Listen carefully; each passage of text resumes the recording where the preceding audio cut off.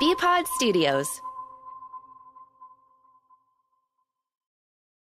This is Talkin' Rock. Talkin' Rock. Your backstage pass to some of your favorite rock artists. Here's your host, Meltdown. Well, it's been a while since I've had a chance to talk with uh, Mark Slaughter. I've seen him a couple times, uh, I'm pretty sure, here and there in concert. Uh, we talked about the time I saw him in Destin, Florida.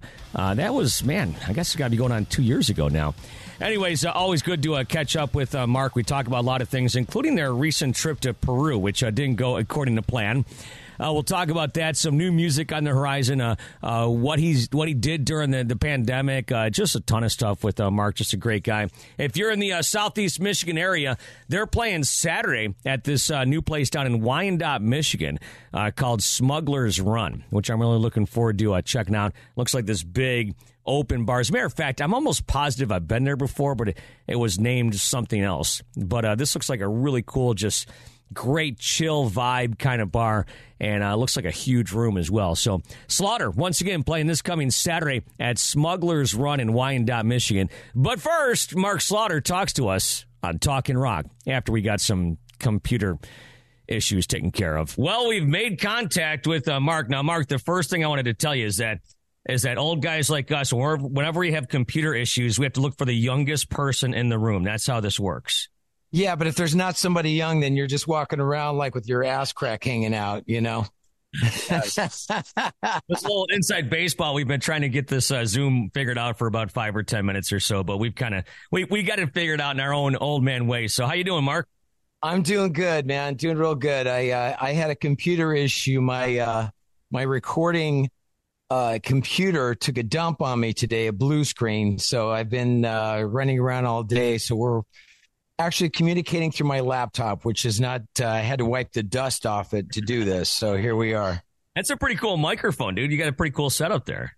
Yeah, you know, I have a lot of great here in the studio. I, you know, during the whole COVID time, I, I, you know, spent a lot of time here. So I got my recording set up pretty, pretty cool. Yeah, I was going to say, so during COVID, I'm trying to remember if we've actually talked officially since then. I mean, I've seen you guys and stuff after that, but I don't know if we've done an interview, but were you doing, were you recording stuff, dicking around in the, uh, in the, in the studio and that kind of thing throughout all of COVID? Yeah, I mean, I did. It's funny. We even, uh, you know, a lot of my uh, musician friends, we'd say, "Hey, let's do that song," and we'd, you know, we did a. Uh, I know this is really outside, but Gino Vannelli had a song called "Brother to Brother" that was probably one of the most technical uh, songs that I've played on.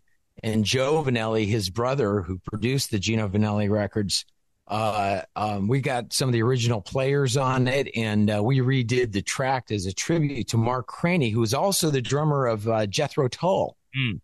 And wow. Uh, and uh, it was just uh, it's a tribute to Mark Craney as brother to brother. If you type it in, and we and I did all the guitar work and the and the voice on it, and it was it was a blast to do.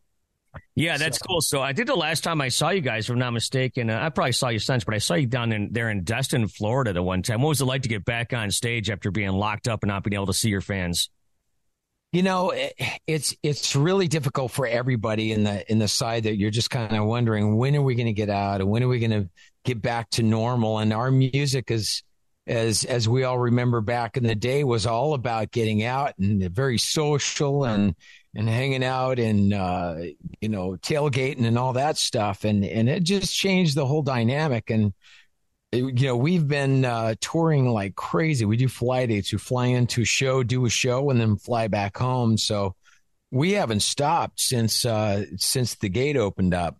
But uh, it's great to be back for sure now you're going to be here in uh, Detroit in the uh, in the Wyandotte area, Smugglers Run. It's going to be the first time to be able to see this uh, venue, and uh, looks like it's selling really well. All the VIPs look like they're uh, pretty much uh, sold out. So, what band are you bringing with you? I know it's always you, and sometimes it's Dana. You know, who, who, are you bringing with you to the show? It's Dana. It's going to be Dana and Blando, and we have a, a gentleman named Jordan Cannata who is a, in Adrenaline Mob, and he's a fantastic drummer. Will, who's been playing with us as well, is uh, out doing Evanescence stuff, and uh, Jordan has been kind of our uh, go-to guy at the moment.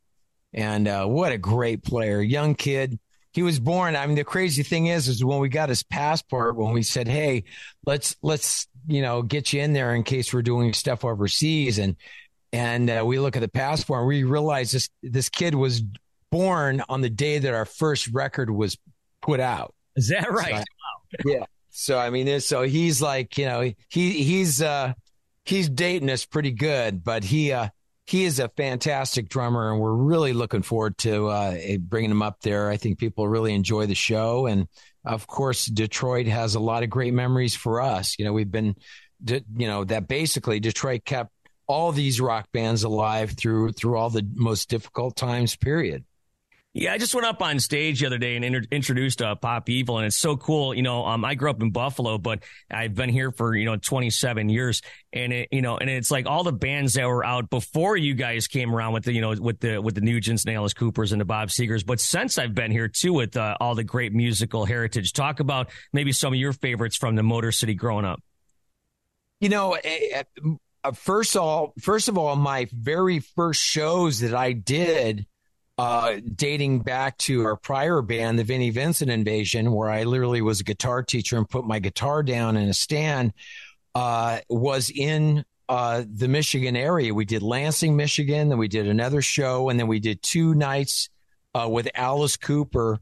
This is in 1986 mm. where we opened up and we played Hell Night and then we played on Halloween with Alice Cooper. And it was the coolest thing ever because, you know, first of all, I'm a fan of Alice Cooper. And second of all, you know, I was never in Detroit before. And all of a sudden, you know, that became kind of like my home sweet home because that's where I really started professionally, in my opinion. Now, I was just talking with the William Duvall from Alice in Chains the other day, and of course, uh, uh, even the guys from uh, Skid Row just last week, and they all talked about the impact that Kiss had on their life growing up as as early ki- as kids and stuff. And I, I'm assuming that those shows were played at Cobo. Is that correct? Um, yes, that was at Cobo, and as well as the you know the Kiss shows, you know, were there. And uh, you know, look, we and also uh, uh, Pine Knob as well. You know, up there in, in the Pine Knob area. that was the other staple for, for all the, the rock shows up there. Mm. But, uh, you know, it's, it, you know, then we ended up doing the Palace as well. And, um, you know, so all that whole area, I mean, that's just kind of where we kind of came in and out of, in and out of. And, uh, um, you know, again, it's the the rockiness Detroit rock city for a reason, you know, and that's just because Kiss said it because it is. I mean, it's a rock and roll staple. Yeah. And of course, you're bringing your show, like we said, Saturday to uh, Smuggler's Run in uh, Wyandotte. Uh, do you still uh, chomp at the bit to get on stage and tour and stuff? I love to get out and tour. I mean, it's it's great, especially when you're coming back to Old Home Week. We get to see a lot of friends that we haven't seen in a long time, and and uh, you know what a blast to to you know go out there and, and hang. I mean, uh, a gentleman named Mark Farner, who uh, I'm recording his record from Grand Funk uh, he lives up in uh, the upper Mich, you know, in Michigan as well. And uh, that's another staple in Detroit. Blando, our guitar player, he's from Flint, Michigan. So, I mean, the ties to Detroit is definitely like old home week for us. Tell me about this uh, Mark Farner project that you're doing. What can you well, tell? He's he's doing a solo record. We've done some re-records, and we've done it here in my studio in Tennessee. He's come down here, and we're also doing things uh, through the old internet where you send files back and forth to each other. And uh, what an incredible talent. And uh, I'm truly blessed to know him as, as a human being and also as a musician. What a, what a cool dude, man. What, now, a, what, have you known him for a while or are you just getting to know him or what? I've known him a while. I met him through the rock and roll fantasy camp in about 2007, 2008 and uh, we we've always we were brothers right from the beginning. I mean, we're you know we we have the same mindset. It's the it's the Cherokee you know connection. It's blood and and uh, he is just I mean, what a great talent, man. You know, and again, if you go back into those Grand Funk Railroad songs, those are the ones that that really impacted me as a young kid. You know and that was my that was what I listened to when I was riding my bike around with my radio taped with duct tape to my handlebars, you know. Yeah, no doubt. I remember those days for sure. What other projects are you working on? Anything else? No, I'm just kind of focused on that stuff with Mark, and then uh, you know we're we're talking about getting some new songs together, Dana, and Blando and you know possibly even Blas. We're kicking it all around, trying to figure out what our next step is. There's a uh, wildlife uh, uh, box set that is uh, going to be released through KissMyWaxRecords.com. Kiss My Wax, and it's pretty cool. It's a lot of vintage stuff for those vinyl enthusiasts. And uh, we're, you know, we're just kind of doing little projects like that, and just trying to figure out, uh, you know, what what's fun for everybody. That's really where we're at. Uh, talk about the uh, the new music because I, I, heard you guys might have some uh, stuff uh, kicking around. Is is do you have anything any ideas demoed out or anything like that? No, but you know, it, Dana and I, when we wrote uh, "Stick It to You," we wrote it in about two and a half weeks. So it doesn't take us long to write the songs. It's more about getting us all in the same room and and uh, you know just turning in you know making sure the computer works like i'm like i'm dealing with right now letting technology work as long as technology works we can get things done pretty quick but we don't have a set date we're just kind of doing all these shows and we're all mar- kind of earmarking the calendar when we have holes in the schedule where we can do that now you're gonna bring will will Blas play on the record and, and and like what is his like position with the band? Is he like obviously always a member of the band, but whenever he can join? When he can when he can do that and and you know he has uh yes family commitments and he has other things that he's he's doing right now and and you know Blas is and always will be a a, a big part of the band. Um, you know, he was the original player. Jordan's a fantastic drummer, so I don't know you know, when we get to the time of recording, it's kind of like who's available and what works. But I know that uh, we're working on a biopic right now, and obviously Blas will be a part of that. I think that's probably once we get something like that out is when we'll release something where Blas comes back and we really go for it uh, as as as close to original as we can. Yeah, that's cool. The biopic, huh? You, you digging up some old uh, old footage, some old videos and stuff. Yeah, that all started during the COVID time. We started going through our drawers that, you know, you throw all your junk in a drawer and then you come back and you go, man, what's this? And, and then you start sending it back to each other. Hey, dude, you remember this? So we, we ended up finding, um, a 24 track tape, which we had, uh, uh, basically, uh, cooked. And then we took all the files off it. It was a show we did at Universal uh, and a Dick Clark production, and we did a whole show in between doing the tapings. So we have a full live show with Tim Kelly on it that that uh, I'm mixing. We're trying to pull together for a uh, for a release, probably through BMG. Oh, no kidding! That's cool. So yeah, we're so we're pulling all that together right now, and there are a few of those songs that we threw on this wildlife compilation in this box set that that'll be in there. But uh, that was a great find. It really was. Yeah, that's like uh, yeah, dusting off some of the classics right there. I can imagine just uh, finding that and you know probably the shock of yourself, huh? Yeah. I mean, you know, and you realize, you know, you're 25, 26 years old at the time that you did it. You kind of go, wow, what a trip. You know, we were kids. And, but, uh, you know, we, we, we love what we do and we still continue to make the music and, and, you know, in the spirit of, uh, Detroit and, in uh, rock and roll and muscle cars. That's uh, that's what we love and continue to to embrace. It sounds like this uh, this interview almost just took a turn to Ted Nugent for a second. That's a well. That's uh, you know, D- Derek St. Holmes. He's a buddy of mine, and Uncle Ted is Uncle Ted. So you know, you can't run you can't run away uh, from from the roots where you came from. Yeah, Derek just celebrated his 70th uh, birthday, as did Billy Sheehan, one of your neighbors down there. Some sort. Yeah, yeah, yeah, and and uh, you know both of them are are fantastic, and nothing has ever changed with way those guys rock. I mean, they're both fantastic. Now, I just talked to Billy a couple weeks ago, and it's funny because, like, you know, there's a lot of musicians down by where you live. Do you ever venture down into the city, or are you just one of these guys that kind of hangs out in the suburbs and stuff and just kind of does your own thing? I'm uh, beyond the suburbs. I'm out in farmland here. Okay.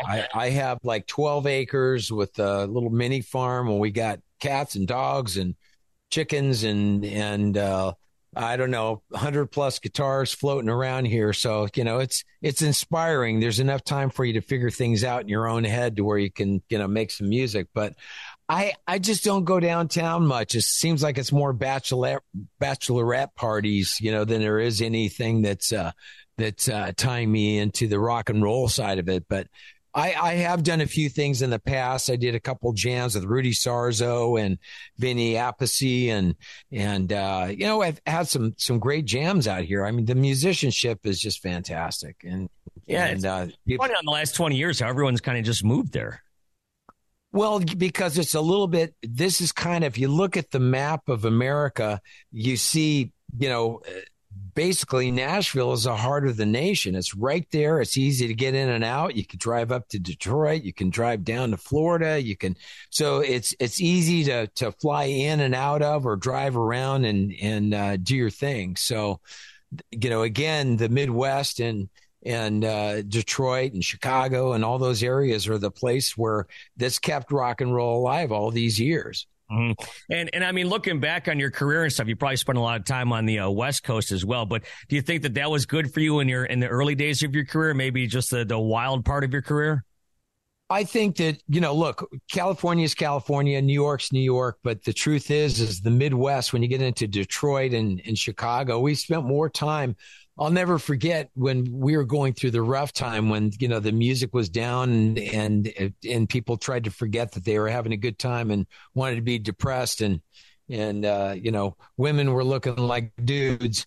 Uh, it's at that point in time it was like uh, we were we only place we played probably more than anywhere was in Michigan. We just it seemed like that was like the magnet that always pulled us back to that area. Yeah. Yeah, there's a lot of people here. They work hard and they play hard, and they definitely want to have a good time when they go out for sure. Um, yeah.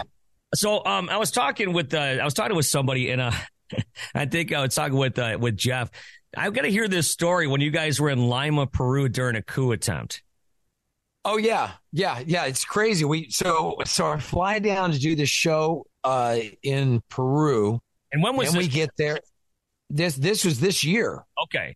Yeah, this year, and so so we fly down, fly down there, and you know, and the promoter's like, you know, this is it, and you do a rehearsal, so I go jam with this band, and we do our thing, and then the next morning I go down to the lobby, and you can see the promoter and all his buddies like have this look on their face, like a you know, a train hit the the hotel, and I'm like, "Hey, what's going on?" And they're like, uh, "We don't think the show's going to play." And I go, "Why?" And they said, "Well, our president is is there's a whole coup going on and this is happening and it was all unfolding and they're running off with cell phones and one minute the show's on the next minute it's off. And and it was funny being there was a different thing. The uh so we go in, go down go down and they said basically they go you know what? They said um you know the the the president is trying to flee to the Mexican embassy. And we're like what? And I guess he was trying to leave uh, the government building there and all the the locals in in Peru basically they they parked their cars and took the keys out of their cars so his car couldn't get over to the embassy and they arrested the guy and then the vice president gets thrown in as the uh, uh, as the new president and the show went on but it, you know, as soon as we left, uh, of course, all hell broke loose and people weren't able to fly out. So we got out just by the skin of our pants. But you know, those type of things, you can't write that. You know, it's just, it's crazy experiences in other countries. And you realize, you know, what it's like here in America. You know, it's a, a whole different thing, you know? There's got to be some parts of the world that you guys just won't go to, right? Well, you know, there's every single time when it comes into Brazil that we're we're slated to go out to Brazil. Every time we're doing, you know, book to do something, they say it's not safe to go, and they the promoters will cancel the show and just say it's not safe now. Mm. It's a most bizarre thing, but uh, you know that that happens in this business, and and uh, you know it is what it is. Uh, Japan we go to often. We love Japan. You know, not as much as uh, Billy Sheehan and Mr. Big goes over there, but we go over there a few times, and uh, you know, great country to that you know that that loves the music as well. Yeah. Uh, speaking of keys, uh, Duke told me he wanted me to ask you about the uh, lock keys and the uh, truck rental. Oh yeah. So so we were out. I, I might have been coming up to. It might have been up in your area. Um, we were uh, going to. We came by the station, and uh, Duke and uh, Wes are two bodyguards at the time. They we go to the to the radio station. We get down uh, into uh, we get down the ra- the radio interview. We go down to the car, and Wes goes to Duke. Where are the keys? And he goes, I don't have the keys. And he goes, Well, I don't have the keys. And we're like, Dude, we got to go shower. We got a show tonight. And they're like, and Wes says to Duke, Go get the keys. And he literally tore the back seat out of the rental car like a dog, like a pit bull, just like ripped it apart. I've never seen any type of demolition from a, from a human being like what Duke did. It was pretty funny, but uh, you know, that was a long story to the rental car company. But uh, yeah, that's just part of the thing. You know, you just got whatever it takes to get to the show. You know. Yeah, Duke is a pretty big guy, but for those that don't know, Wes was, uh, uh, God rest his soul, was six foot ten, four hundred pounds. And, uh, I, I know you saw him spring into action a few times. That must have been. Oh, yeah, absolutely. Absolutely. He used to pick me up and just say, we're going. And he just literally carry me by my, by my ankles off to the bus. I mean, he was, he was a big guy. Yeah, I've, I've heard some of the uh, stories from Duke. He walked me through a bar one time that you could not shoehorn another person into like there was nobody in there. Yeah, yeah, I know. Isn't it funny? He's like coming through, coming through, coming through. he's just like he's just like doing this to people, and people are just moving out of the way. So, yeah, yeah, absolutely, absolutely. Well, you know, and you know, it's it's funny. It's just like you. I mean, we've had we've had so many great friends along the way that have just been a part of our life, and you know, go in and out. I mean, we all do what we do in life, but you know, we've been a part of this incredible ride of music and and fun and uh and great memories and good times, you know. Yeah, no doubt, and it's uh, it's a career uh, well lived and well spent, and uh, man, I'll tell you what, it's uh, just getting stronger. Maybe some new music, a biopic like you were talking about, uh, coming up in the, in the near future somewhere. But we know for sure uh, Smugglers Run at Wyandotte uh, this coming weekend. So, hey, Mark, want to thank you for taking the time out here on this uh, beautiful uh, spring day. Happy spring to you. to happy t- spring to you too. Yeah, yeah, absolutely. It's a little chilly up there, isn't it? It's not too bad. It's actually like 51, which maybe. Oh, there you go. Yeah, there's no ice fishing. So, yeah, I guess that's good. No, so maybe when you come up here this weekend, uh, who knows? Maybe there'll be some bikinis. I'm, I don't know. Oh yeah, there you go. Well, we'll we'll check the parking lot. hey, Mark, thanks so much for the time. Appreciate it. Thank you, my friend. We'll talk to you soon. Yeah, he did that whole interview while talking to me through his phone, through his microphone, because he couldn't hear me for some reason in his studio. So, uh, thanks to Mark for uh, persevering through. And like I said before, Smugglers Run this coming Saturday in uh, downtown Wyandotte. Going to be a great show. I can't wait to see Dana as well. Dana's such a great guy, and uh, Blando's such an awesome guy as well. Great guitar player too. He's been with the band for uh, quite a long time. So looking forward to seeing all the guys and uh, the new drummer too. So there you have it. Hey, hope you guys uh, dig this. Some more interviews are uh, coming. And uh, I talked about this before, but I got this track by track series. Uh, I've done two episodes so far. I'm going to try to get Mark and Dana and Blas on and talk about the uh, debut Slaughter record track by track. Uh, but we've talked with uh, Brent Smith from Shinedown, also Jesse James Dupree from Jackyl about their debut records as well. So it doesn't typically have to be about debut records, but uh, those were big ones uh, for both those bands. With both those albums, if not mistaken, cracking the top five as far as songs. Uh, with at least four of them. So, yeah, check that out if you get a chance, uh, track by track. That's on my page at Meltdown. Uh, I'm sorry, WRIF.com slash Meltdown. You can check out everything there. Uh, a lot of these interviews like this one today, done with Zoom. You can watch any of them as well just by punching up the website. But thank you guys so much for checking out Talking Rock. We'll do it all over again very shortly. Thank you for listening to Talking Rock with Meltdown. You can help this podcast grow by giving it a five star rating and writing a review on Apple and iTunes. Plus, feel free to subscribe and share it with your friends. Until next time, thanks for listening to Talking Rock.